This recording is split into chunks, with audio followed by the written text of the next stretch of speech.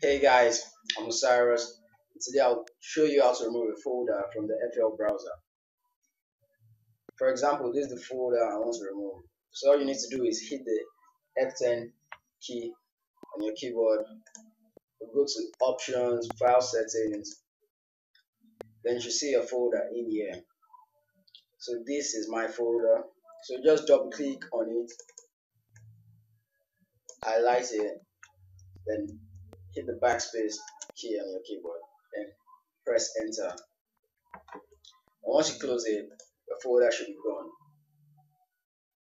That's it, that's all. Okay, note this in previous FL versions like 11 and 10, you have to close your project and reopen it for the folder to be gone, or you just have to load a new project like that. So that's all on removing a folder from the FL browser. Take in mind that your folder won't be gone from wherever you saved it. You still have your folder there. You just have it in the FL browser. So that's all. If you like this video or you learned something new, don't forget to like, comment, share, and subscribe.